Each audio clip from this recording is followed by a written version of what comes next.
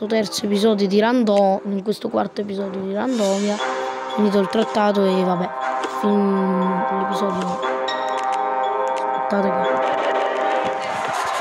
il video finisce qui. La penisola iberica è completata. Ciao a tutti.